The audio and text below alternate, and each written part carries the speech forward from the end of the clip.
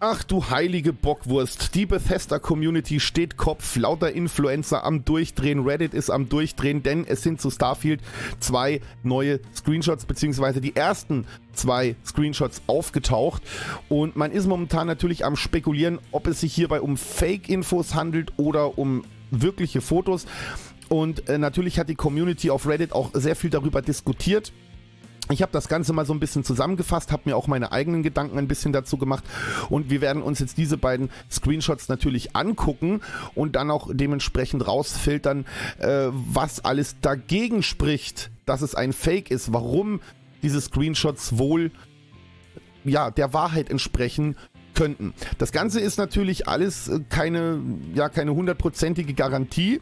Ja, es kann natürlich auch sein, dass sich da irgendwie ein Fanboy äh, übelst fett die Mühe gegeben hat, um irgendwelche gefakten Bilder darzustellen.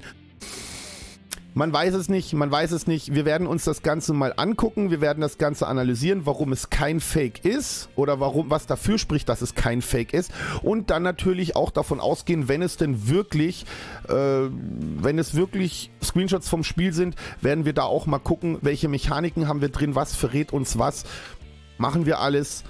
Überhaupt kein Thema. Das Ganze basiert natürlich auf einem Reddit-Beitrag, welcher nach deutscher Zeit heute Nacht erst erschienen ist. Und dort wurden halt, wie gesagt, äh, in dem Future Game Leaks vor Starfield, dort wurden dann halt dementsprechend diese beiden Screenshots äh, gepostet. Ich werde euch den Reddit-Beitrag auch mal unten in die Kommentare, äh, in, die, in die Videobeschreibung reinpacken. Dann könnt ihr euch das selber auch nochmal angucken. Und der erste Screenshot, den wir zu sehen bekommen, das ist dieser hier. Ja, was spricht jetzt dagegen, dass es hier ein Fake sein könnte? Nun, Third Person ist ja natürlich so eine typische Sache für Fallout, dass man in die Third, Third, Third Person gehen könnte. Gut gedeutscht, mein Lieber. Ähm, dann auch dieser ganze Flair von diese, dieser Art und Weise, wie dieser Screenshot gemacht ist, das erinnert natürlich an frühere Spiele. Ähm, diesen ganzen Flair, den dieses Spiel oder dieser Screenshot versprüht, ja, diese, diese Atmosphäre, dieses, dieses gewisse Etwas, das spricht auf jeden Fall sehr, sehr stark für Bethesda. Ja, also dass es wirklich ein Bethesda-Game sein könnte. Was natürlich auch sehr interessant ist, ist, wenn man jetzt zum Beispiel sich den Trailer einmal genau anguckt, dann sieht man in diesem Trailer diese Raumstation. Das ist natürlich nicht viel, was man da sieht. Allerdings finde ich jetzt, dass man das so vom Style her, von der Engine und von der Farbgebung doch sehr, sehr gut, äh, dass es sehr gut dazu passt.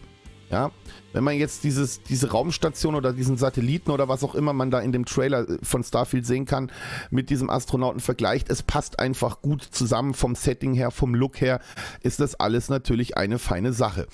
Was spricht noch dagegen, dass es ein Fake sein könnte? Wenn man sich das Schulterpatch einmal genauer anguckt, dann sieht man, das ist ein Logo.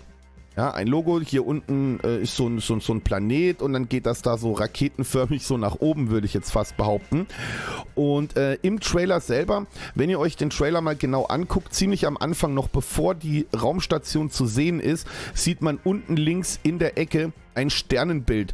Äh, kon, kon, äh, Konst Constellation soll das Wort anscheinend heißen. Und dort ist am Anfang von diesem Wort auch ein Logo in diesem Wolken-Sternenbild, was auch immer das sein soll, äh, ein Logo vorhanden. Und dieses Logo ähnelt natürlich sehr dem Patch auf der Schulter des Astronauten. Ja, und das sind halt solche Indizien, die dafür sprechen, dass es wohl ein realer Screenshot sein könnte und kein, kein Fake. Was natürlich gleich auffällt, ist so ein bisschen, es sieht anders aus als die ganzen Fallout-Teile, so von der Engine her. Und ich meine, ich bin jetzt kein Developer, ich persönlich kenne mich mit Engines überhaupt nicht aus. Ich kenne einige Engines, ich kenne die Unreal Engine, ich kenne Unity, ich kenne Snowdrop. Ja, da gibt es ja die verschiedensten Engines. Aber ich persönlich könnte jetzt nicht unterscheiden, welches Spiel mit welcher Engine gemacht wurde. Ich kenne zwar einige Engines, ich kenne auch einige Spiele, welche mit gewissen Engines gemacht wurden, aber unterscheiden könnte ich die jetzt nicht. Allerdings gibt es da draußen einige Leute, die das wohl anscheinend können. Und ähm, die sagen, das Spiel sieht auf jeden Fall extrem nach ähm, Unreal Engine aus. Ist natürlich die Sache, ist es nun fake oder nicht fake? Darüber kann man jetzt natürlich diskutieren. Ich meine, es gab schon mal einen YouTuber, Streamer, wer auch immer, der an einem, ein, an einem eigenen äh, Spiel gearbeitet hat und dann ein, eine Gameplay-Demo hochgeladen hat und die dann als Starfield äh, verkauft hat, nur um sein eigenes Spieleprojekt zu promoten. Wenn wir jetzt davon ausgehen, dass diese Bilder, die ich, ich habe ja noch ein zweites Bild für euch, dass diese Bilder keine Fake-Bilder sind, ja, Gehen wir mal davon aus, die sind real. Dann lasst uns doch mal angucken, was man auf diesem ersten Screenshot denn überhaupt schon alles in Erfahrung bringen kann. Und zwar haben wir eine HUD. Und zwar links unten in der Ecke haben wir eine HUD-Anzeige und die zeigt uns an O2 und CO2, also das ist quasi Sauerstoff und CO2. Das ist dieser halbrunde Bogen da unten. Das bedeutet also in meinen Augen, dass man doch Luft atmen kann in seinem Raumanzug und diese Luft wohl auch mit der Zeit verbraucht. Ja. Das Ganze sieht für mich so aus, so ein bisschen, also ich weiß ja nicht, in welche Richtung das gehen könnte, aber ich habe so die Vermutung, dass man sich einige Mechaniken aus äh, Star Citizen vielleicht abgeguckt hat. Also ich könnte mir sehr gut vorstellen, dass man wie in Star Citizen mitten im Weltraum vielleicht sogar sein Raumschiff einfach anhalten kann und aus dem Raumschiff aussteigen kann und durch den Weltraum fliegen, um sein Raumschiff herum vielleicht eine, eine, eine Weltraumstation, die im Weltraum schwebt, dann betreten kann und so weiter und so fort, ohne dass man da andocken muss, sondern man fliegt dann einfach rüber. Das habe ich ja in, äh, in Star Citizen ja auch schon oft gemacht. Das geht dort. Das ist wunderbar. Könnte ich mir vorstellen, dass man sich da irgendwie so ein bisschen was abgeguckt hat. Man sieht natürlich auch, ähm, es soll wohl das, wo das G ist, dieser Strich nach oben mit diesem Pfeil, das soll wohl eine äh, Gravity-Anzeige sein. Also Gravitation, wie hoch ist die Gravitation? Ja, Gravitation, je weniger Gravitation, wenn du einmal springst, umso höher, umso höher fliegst du auf gut Deutsch gesagt. Ja, und dann gibt es da wohl noch eine, man vermutet stark, dass es sich um eine Tag- und Nacht äh, oder um eine Planetenanzeige handelt, äh, was Tag und Nacht angeht. Ja, weil da kommt ja dann auch die Sonne um den Planeten herum. Ist aber alles reine Spekulation aber dennoch sehr interessant. Ich persönlich würde es wirklich feiern, wenn man später in Starfield jetzt hätte ich schon fast Star Citizen gesagt, wenn man in Starfield hinterher wirklich im, Raum, im Weltraum sein Raumschiff anhalten kann und einfach aussteigen kann, um Stationen zu betreten und, und, und.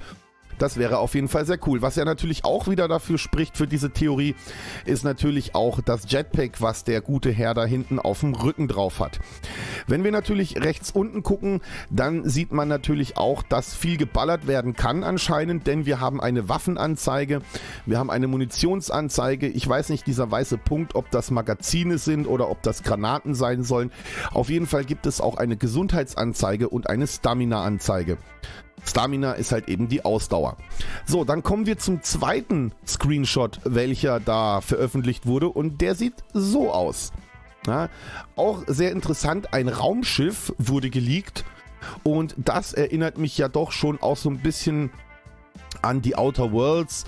Äh, sehr, sehr interessant auf jeden Fall. Kein, kein so richtig hochpoliertes Raumschiff, sondern wirklich so ein bisschen ja, so ein bisschen vergammelt, möchte man doch schon sagen. Jetzt ist natürlich die Frage, wenn man sich vorne das Cockpit anguckt mit den Glasscheiben, ist das wirklich so das komplette Cockpit in der Originalgröße klappt das dann auf und man setzt sich rein. Oder, was ich auch sehr interessant finde, ist, wenn man sich jetzt die Seite mal genauer anguckt, da wo ich jetzt die grünen Pfeile hingemacht habe, das sieht für mich persönlich so aus, als wenn das Eingänge wären. Also eins von beiden könnten irgendwie Eingänge sein von diesem Raumschiff. Ich würde es auf jeden Fall hart feiern. Und sieht für mich so ein bisschen aus, als würde man diese Raumschiffe, so wie in Star Citizen, auch zugänglich machen. Ja, also dass man mit seinem Charakter an sein Raumschiff rangeht, dann vielleicht eine dieser Türen öffnen muss, in sein Raumschiff reingeht und dann zum Cockpit vorlaufen muss und auch während dem Flug vielleicht im Raumschiff rumlaufen kann oder wie auch immer. Könnte ich mir fast vorstellen, ist aber natürlich nur reine Spekulation. Und ähm, was da natürlich an der Sache dran ist, das wissen wir nicht. Allerdings wurde bisher auch noch nicht von Bethesda oder seitens Microsoft in irgendeiner Form äh, bekannt gegeben, dass es sich hierbei um Fake News handelt oder oder oder. Ja, bleibt abzuwarten. Ich denke mal, wenn es gibt zwei Möglichkeiten. Es gibt zwei Möglichkeiten. Wenn das wirklich Fake News sind mit diesen Screenshots, dann gibt es zwei Möglichkeiten. Entweder Bethesda bekommt das mit und sie reagieren drauf und sagen, hey, das ist nicht von uns, das hat nichts mit Starfield zu tun, ist nicht unser Ding. Ja, das wäre die erste Möglichkeit. Oder die zweite Möglichkeit wäre natürlich, dass sie nichts sagen und sich denken, ja, das sind zwar Fake News, aber lass doch die Leute mal ein bisschen über unser Spiel reden, ist natürlich auch eine gute Promo für uns. Man weiß es halt nicht. Ne? Bleibt abzuwarten, ob da eine Reaktion von Bethesda auskommt oder nicht. Ich persönlich würde es feiern, wenn das wirklich Starfield wäre, wenn das wirklich so aussieht. Ich freue mich auch schon so ein bisschen auf Starfield. Man spekuliert natürlich auch, wann soll das Spiel kommen. Vielleicht 2021. Die anderen sagen, nee, das wird erst 2021 irgendwie announced für 2022 auf der E3 oder sonst irgendwas. Keine Ahnung. Ich persönlich freue mich auf jeden Fall darauf, äh, mehr von Star, äh, Star Citizen, von Starfield zu sehen. Und ähm, ich hoffe, ihr auch. Was haltet ihr von diesen Leaks? Denkt ihr, das ist fake? Denkt ihr, dass es äh, könnte real sein? Freut ihr euch so ein bisschen auf die Mechaniken? Was denkt ihr darüber? Schreibt es mir unten in die Kommentare. Und in diesem Sinne danke ich euch natürlich jetzt recht herzlich für eure Aufmerksamkeit. Wünsche euch viel Spaß beim Zocken, guten Loot, macht nicht zu viel Blödsinn. Wir sehen uns im nächsten Video. Servusle und ciao.